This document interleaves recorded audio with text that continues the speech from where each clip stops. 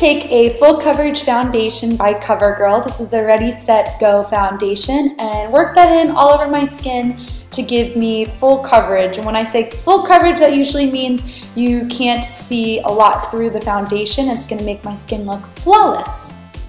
Filling in the eyebrows, and I've been doing that a lot lately with a more full coverage brow, a lot of full coverage for this look for going out. And when I fill in my brows, I usually start from the inner corner and I picked up some matte eyeshadow to do this and fill in all the sparse areas. Here I am taking one of my favorite pigments by MAC. This color makes my eyes pop so much. It's a beautiful rose gold shade and I'm using a flat shader brush just to pack on this color and I usually like to wet it a little bit, my brush, when I use a pigment. Anytime you do that, it's gonna show up a lot stronger and make the color really vibrant here. So I'm also gonna take a warm brown color and this is Buck from the Urban Decay Naked Brown or Naked palette and any warm brown medium tone shade would go great in the crease. It's just gonna buff out those edges so it doesn't look harsh. And I'm also gonna take it underneath the eyes as well. Uh, it's gonna make it a little smokier underneath and I'm just using the same soft brush.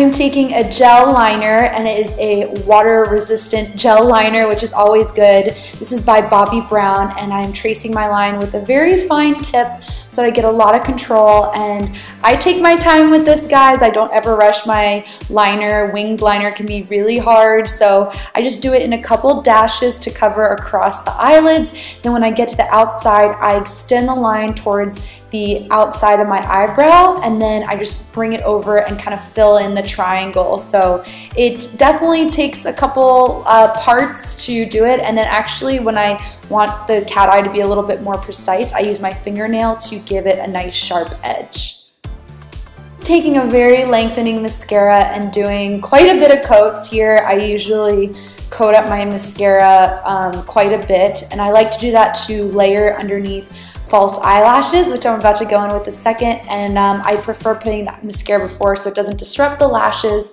And I'm using the Ardell Wispies, my all-time favorite lashes, and they're so affordable. And then just some white adhesive glue to attach them right to the top layer of my skin there.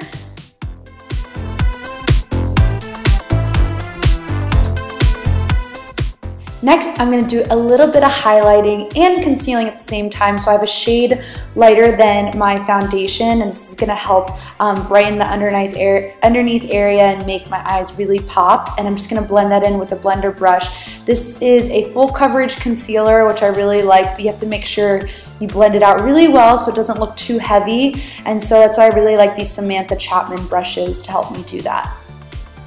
Just gonna emphasize the inner corners of my eye with that tan pigment again. It's gonna really open up the eye area and just make the eyes pop even more.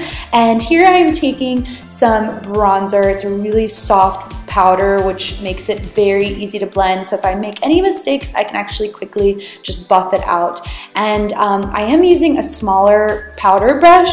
And the reason I'm doing that is because I'm going for a more contoured look. So to achieve that, you want a smaller brush to kind of get those defining uh, sort of strokes that you want. So I'm focusing on the cheek area, the temple, and as well as the jawline, kind of like in a three shape down my face.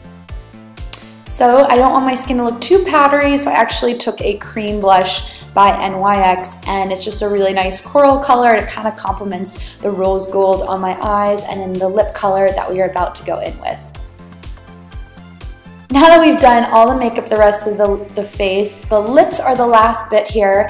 And you guys may know, notice that I've been filling my lips in with just liner lately. And I just love that look, especially because in summertime, I find that it stays the best is just by applying liner. Just like a gorgeous matte lip that it gives. So this one in particular has been amazing and you don't even need a sharpener to sharpen it.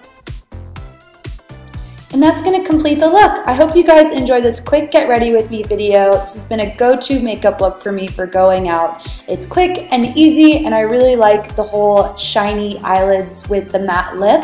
Let me know if you guys give this video a try and make sure you give it a thumbs up if you enjoyed it. Also, make sure you check out my last two videos. You can click the screen now and it'll take you right to the videos. And don't forget to subscribe for more. I look forward to seeing you guys next time. Take care. Bye.